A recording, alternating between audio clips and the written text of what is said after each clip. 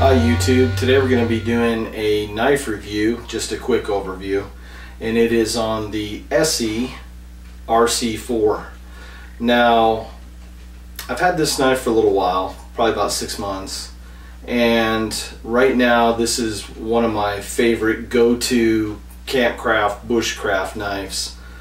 Um, I think ESEE did an outstanding job when they made this knife, and I'm going to share some of the details with you. First I'm going to come on up so I can show you how this looks. Comes with a Kydex sheath right here. Has a little lanyard the bottom. And uh, I put my own special little lanyard on there with some paracord that I had purchased. Um, out of the sheath, you know, I use my knives and just to show you, yeah, it's dirty. You know, I'm not going to clean it up just for a video gear review because I use my stuff you know, like anybody should use. And that doesn't mean I abuse it, you know, I'll uh, clean it up later on. But uh, just want to show you folks that, yeah, you know, I really do use my gear. It's not just new and sits in a cupboard all day. Now, this stuff, this knife is um, made out of 1095 carbon steel. And ESEE has put on some sort of powder coat on there to protect that. Now, what they recommend is, is that when you store this knife for any amount of time or if it's in wet weather that you apply some sort of lubricant to this blade especially around where the etching is the laser etching and around the cutting edge um, just to keep as like a rust inhibitor. And it's a good idea to do that with any of the knives that you own. Now this knife overall is nine inches long and the blade length is four inches long the knife had a really good feel, fits good in my hand, has a nice choil, you know, and um, the jimping on top, I feel it's just enough jimping. My thumb doesn't slide when I use this knife, and um, you know, with my index finger up in the choil like that, you know, I can get in there and I can do the fine detail work, you know, if I'm making fire sticks um, or what have you, you know, um, I would do light batoning with this knife.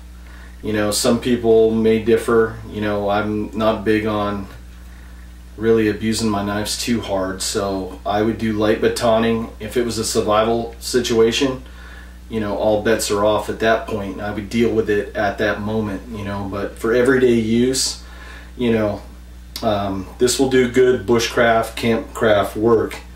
Uh, the scales on here are uh, a Micarta.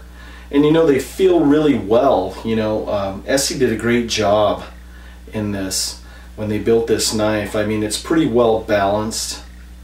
You know, let's check it out here. I don't want to drop it on my foot. But uh, yeah, it, it's pretty well balanced. You know, um, the blade thickness on this is um, 3 16ths. We'll get in close. You know, some knives, I know a lot of Tops knives that I own, that's a quarter inch of steel. And sometimes I find, you know, when it's that thick on a knife this small, it's sometimes hard to sharpen. You know, um, the scales are removable. You can do that if you want to clean up the knife. Uh, what I did also as an added feature, you know, I purchased a um, custom Kydex sheath, one, you know, because this came with some MOLLE straps on there and I'll show you real quick. You know, had a bag with some MOLLE straps in it. And you can configure it on this a couple different ways, you know, any way you want. And on their diagram, they even used a paracord, you know, to put as a belt loop. Me, you know, the only downfall to the knife, I think, is that um, I like a good belt loop. Maybe it's just me. I don't know, personal preference. You know, us knife lovers, we all are stuck in our ways and we all have our own personal preferences. And it's, you know, it's like food, you know, you acquire a taste for something and that's what you like. And everybody has a different opinion. I respect everybody's opinion. Me, I personally went out and uh, there's a gentleman on eBay and he goes by the name of uh, Condahaw and I'll put um, his information in the notes down at the bottom of the video. And he made this custom sheath out of Kydex. and he does that for a lot of uh, ESEE knives. And you know what? It works really great. Fits on my belt really well. Um, he's out of Carson Nevada. Did a great job. Knife fits in there. You know let me give it the old shake test watching my feet so I don't stab myself you know the knife doesn't rattle around at all. You know has a really good feel.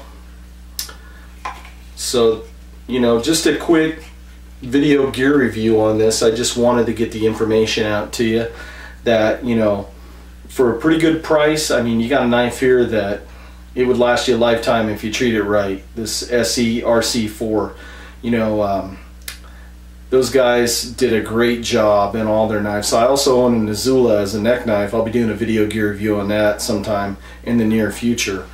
Um, this is a knife that, you know, it's a little bit more pricey, but, you know, if you want a knife that's going to last you a lifetime, you know, something like this is going to last you for years. And if you treat it right, you can hand it down to your, your kid and your grandkids.